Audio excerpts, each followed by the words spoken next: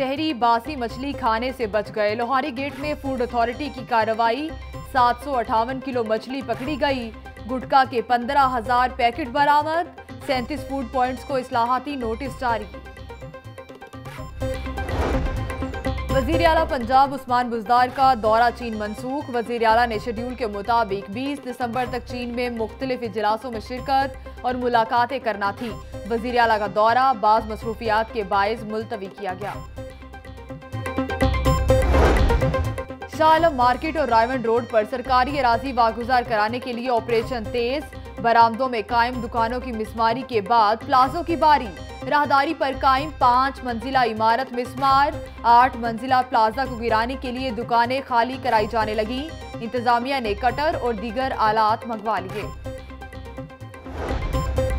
Lord mayor के पास इख्तियारात नहीं तो ये इनकी नाकामी है। घर चले जाएँ। मेयर छह हफ़्ते बाद सिर्फ़ सियासी बयान देगा।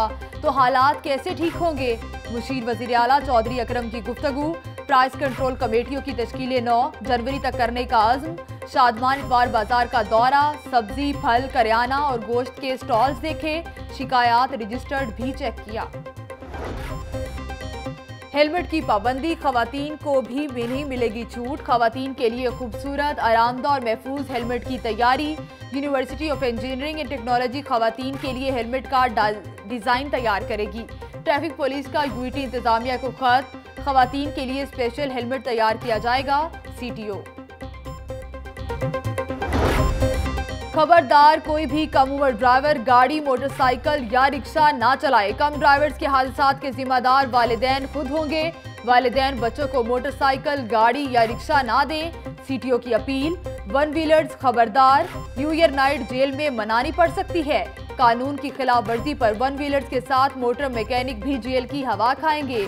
सीटीओ का डीआईजी ऑपरेशंस और डिप्टी कमिश्नर को खत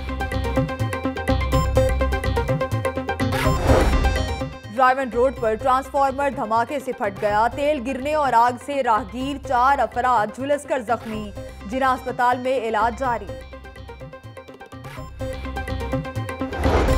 और गरीब और मुस्तक अफराद के लिए मुफ़्त टेस्टों की सहूलत। रिवाज गार्डन में सेंट्रल पार्क लेबॉर्ट्री का अफ्ताह। डॉक्टर यासमीन राशिद का कहना है कि हकूमत अकेली कुछ नहीं कर सकती। अवाम की मदद की ज़रूरत है। शहरी हेल्थ कार्ड से तीन लाख साठ हज़ार से जायद रकम से अपना इलाज करवा सकते।